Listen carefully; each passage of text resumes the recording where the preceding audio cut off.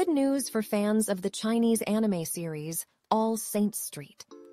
After a six month wait, Season 4, Episode 1 is finally set to release, and viewers are eagerly anticipating the action packed and exciting new season.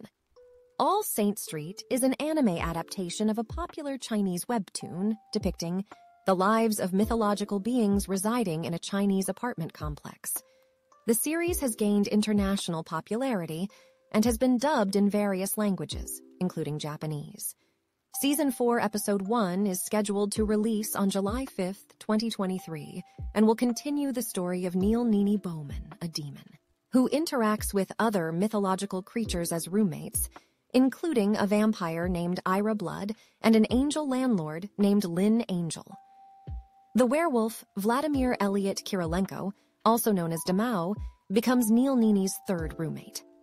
Minor characters include Abu, a silent mummy, and Nick Holt, Neil's half-brother. The episode can be watched on Crunchyroll with Japanese audio and multiple subtitle options. Don't miss the highly anticipated return of All Saints Street with Season 4, Episode 1, promising more mythical adventures and comedic moments. Tune in to Crunchyroll on July 5th, 2023 to catch the latest installment of this beloved Chinese anime series. Thank you for watching our video. We hope you found it informative and engaging. Don't forget to subscribe to our channel and hit the notification bell to stay updated on our latest news and content.